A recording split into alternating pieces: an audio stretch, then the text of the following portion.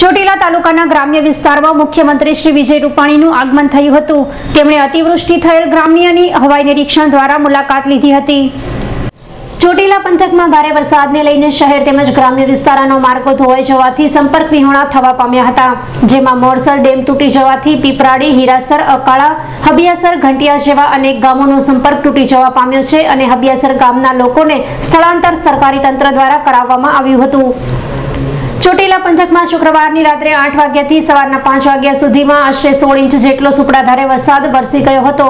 ચોટીલા પંથકમાં જાણે મેઘરાજા મન મૂકીને વરસ્યા છે, ત્યારથી અત્યાર સુધીમાં કુલ બારસો સિત્તેર મિલી જેટલો વરસાદ નોંધાવા પામ્યો હતો. અને છેલ્લા એક અઠવાડિયામાં એટલે કે તારીખ પંદરથી ત્રેવીસ સુધીમાં ચાલીસ ઇંચ જેટલો વરસાદ વરસી જવા પામ્યો હતો. અનરાધાર વરસાદના કારણે શહેર તેમજ ગ્રામ્ય વિસ્તારના લોકો પૂરમાં ફસાઈ ગયા હતા. જેમાં તારીખ પંદરના રોજ ચોટીલાનો એક યુવક પાણીમાં ગરકાવ થઈ જતા એનડીઆરએફની ટીમે તેને આશરે નવ કિલોમીટરના અંતરેથી તારીખ વીસમીના રોજ તેની લાશ મળી આવી હતી. તારીખ એકવીસમીની રાત્રે અતિભારે વરસાદના કારણે ચોટીલાના નીચાણવાળા વિસ્તારોમાંથી એનડીઆરએફની ટીમમાંથી પાંચ લોકોએ જીવ બચાવ્યો હતો અને આ પાંચ લોકોમાં એક સગર્ભા સ્ત્રીનો પણ આબાદ રીતે બચાવ કરવામાં આવ્યો હતો. વિક્રમસિંહ જાડેજાનો રિપોર્ટ ચોટીલા.